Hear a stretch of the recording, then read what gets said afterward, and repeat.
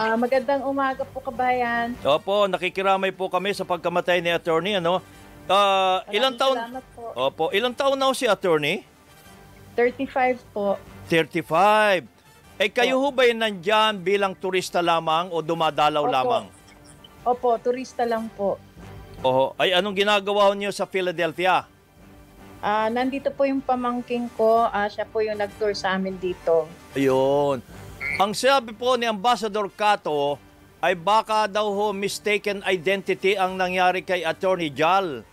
Anong Opo, anong paano ho ba po. nangyari? Anong paano ho ba nangyari?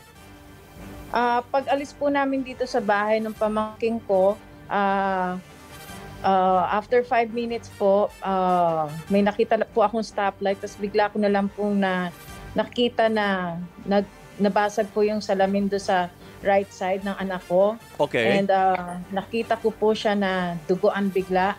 At uh, ang ginawa ko po, uh, yumuko po ako. Uh, halos anuhin ko na yung dun sa legs niya kasi po may narinig pa po ako mga gunshots gunshots po. Ang pagkakaalam po sa tingin ko po mga 5 or 6 pero nung tinanong ko po ang detective na nandito po kahapon Opo. ang sabi niya po, 15 shots po ang ang ibinaril po sa akin. So, I'm thankful to God na na spare po ako. Kasi hindi ko nga po alam, hindi ko alam kung may anting-anting ako special power. 15 shots po, kabayan. Ilan nung tumama sa inyo? Ah, puro sharpnel, puro hugging lang po ang nangyari sa akin. Ah, ma- pero mag magkatabi ho kayo ni ah, Attorney Jal. Magkatabi, magkatabi, magkatabi po kami. Ay, ganun. Tapos yung Opo, tapos yung box, yung may box po kami sa likod ng trunk, Oh, yun po ang naka halos ah, meron siyang nasalo na dalawang bala po na siguradong tatamaan po ako sa tagiliran pero hindi po ako natamaan. Kaya dalawa lang ho kayo. Dalawa lang po kayo sa kotse, Mrs. opo, tsaka yung isa pong yung driver po. Driver. Yung driver ho walang tama. Naku, wala po, walang galos. Oho. Eh, ano sa akala niyo? So, nasa traffic lights ho kayo, nakahinto kayo sa traffic lights nung bariling kayo? Ah, parang nakahinto po kami kasi napakabilis po ng pangyayari. In five minutes po, alam ko, ma- namatay na yung anak ko eh. Hmm? Na talaga na pong, talaga pong, ah, hindi ko po matanggap hanggang ngayon. Opo. Opo. Sa kala po ninyo, dun sa kotse pa lang, sa Uber pa lang, eh, patay na si Attorney Jal? Oo, kasi nakita ko po yung, ang bilis po nung ano ng dugo niya, tapos tinry ko pong kunin tong cellphone niya. Oh. Ah, kinukuha ko po, nahirapan po ako kasi kitang-kita ko po nangingisay po yung anak ko. So, sa akala po ninyo, ah, tama ang mga polis na mistaken identity dahil siguro naman eh, hindi naman nagtatrabaho diyan si si Attorney Jal kaya wala siyang masyadong po, nandito lang, nandito lang po kami talaga para mag-visit lang po. Papunta Opo. na po kami Chicago. Okay. Noong time, papunta po kami airport para po i-meet pa ho uli yung ibang kamag-anak namin sa Chicago po. Ah, kaya kayo nandoon. Opo, opo. Ay, hanggang kailan sana ho kayo diyan sa Amerika? Ah, uwi na po sana kami ng July 2. July 2. Opo. Ay, Opo. kamusta na ho kayo ngayon, na Mrs. Lea?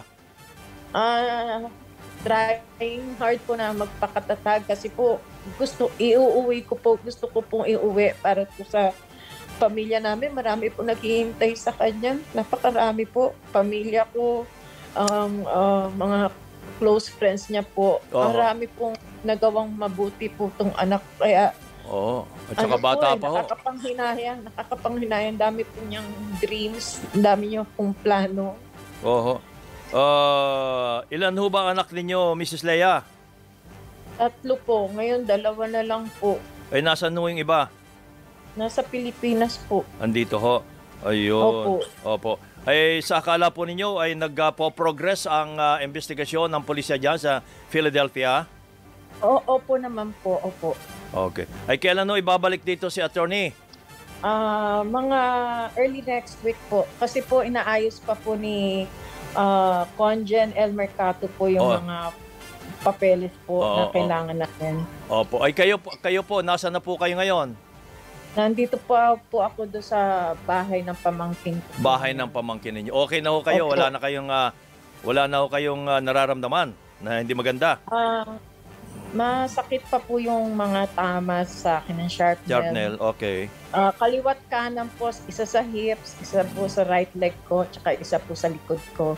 Sa upper shoulder po, sa kanan po. Okay. So nakikiramay po kami ho. Salamat po ha. Opo. Opo. Ah, kabayan, maaari po ba magpasalamat sa mga Opo, opo, opo. po? Opo, kasi please. po, ah, lalo po yung repatriation process po, eh, is-shoulder po ng ating gobyerno. Ah, Okay. pasalamat din po ako kay Sir Teddy Boy Locsin. Yes, kay okay. Op- Opo, si Secretary Toots Ople, si Conjen El Mercato po, si Conjen Arman, at ang Filipino community and, and nurses. Mabuti po ang mga nurses natin ah, kasi po pumapasok po sila sa kwarto namin para i-hug po ako. Ah, nakakatuwa po. Maramdam ko po yung concern po ng mga Filipino dito. Doon Opo. Eh, sana po ay magkaroon ng justice si Yun nga Attorney po. Jal. Opo, yun po ang gusto ko na magkaroon po ng justice kasi po hindi po namin deserve nung yung ganito Ay, po. opo eh. naman. Na, Opo. opo, namamasyal lang po kami. Nag, Oho. Naglilipang kami mag-ina po. Ho, pong- saan ho nag-graduate si Attorney Jal?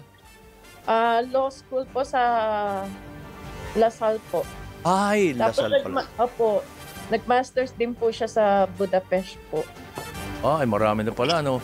Okay. Opo, marami pong achievement ang anak ko, Sayang, oh. sir. oh. Anyway, Opo. ay, paubahin na lang ho natin sa Diyos at kami muli nakikiramay po, Mrs. Leia. Okay, okay po. Salamat, po. Ingat po kayo, ingat. Okay, salamat po. God Salamat bless po.